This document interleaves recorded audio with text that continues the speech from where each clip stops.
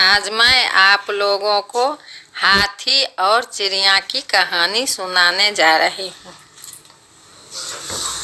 एक एक हाथी और एक चिड़िया में झगड़ा हो गया।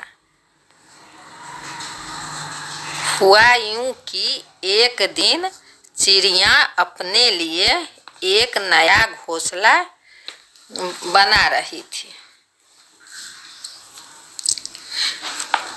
यहाँ वहाँ से तिनके इकट्ठे कर रही थी। एक बार में वह एक ही तिनका उठा पाती थी। वह तिनका पकड़ती, उड़ती और पेड़ की डाली पर रख आती थी। उसे बार बार यह करते देख हाथी यह करते देख हाथी को हँसी आ गई। वह चिड़िया पर हंसता हुआ बोला, बेचारी, इतनी छोटी, इतनी कमज़ोर है कि एक से ज़्यादा तिनका उठा नहीं पाती है। मुझे यदि ऐसे तिनके उठाने पड़े तो मैं हज़ारों लाखों तिनके एक बार में उठा सकता। हूँ घोंसला बनाने के लिए चिड़िया ने धरती पर गिरा पत्ता उठाना चाहा। पत्ता कुछ बड़ा था। उससे उठ ही नहीं रहा था। बार बार उसके मुँह से पत्ता ज़मीन पर गिर जाता था। यह देखकर तो हाथी को खूब हँसी आई। हाथी हँसते हँसते बोला, कुदरत ने तुम्हें बनाने में खूब कंजूसी दिखाई है। एक पत्ता तक भी तुमसे नहीं उठता है। मैं अगर चाहूँ तो इस पूरे बड़े पे, बड़े पे, पूरे पेड़ को उखाड़कर उठा सकता।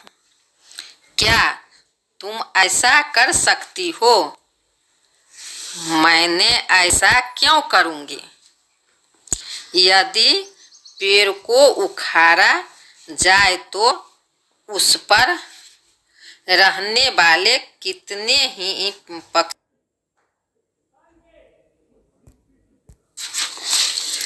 कितने ही पक्षियों के घर उजड़ जाएँगे। एक पेड़ को बनने में बनने में काम से कम से कम दस वर्ष लग जाते हैं। हाथी को गुस्सा आ गया। वह बोला, चिड़िया की बच्ची, तुम बहुत ज़्यादा चींची करती हो। तुम चुप रहो। तुमने कितने और पत्ता उठाकर मेरे सामने अपनी ताकत दिखाई है। मैं भी अपनी ताकत दिखाऊँगा। यह कहकर हाथी ने एक पेड़ के तने पर अपनी सूंड लपेटी और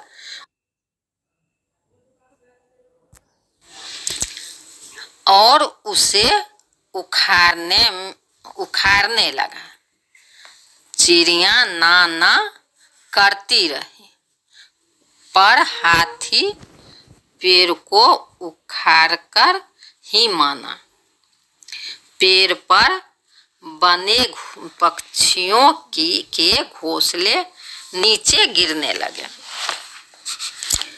वहाँ पंछियों की चीखें सुनाई देने लगी। हाथी ने यही यही बस नहीं कि उसने पेड़ को अपनी सूंड पर टिकाया और यहाँ वहाँ घूमने लगा। यह देखकर चिड़िया ने दुख की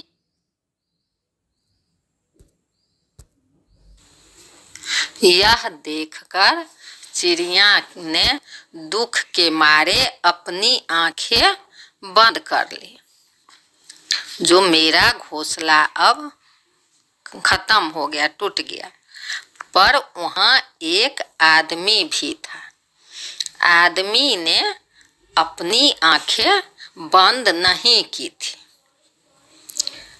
वह आदमी हाथी की ताकत देखकर पहले तो हैरान हो हो गया। फिर उसकी ताकत का उपयोग सोचकर प्रसन्न हो गया।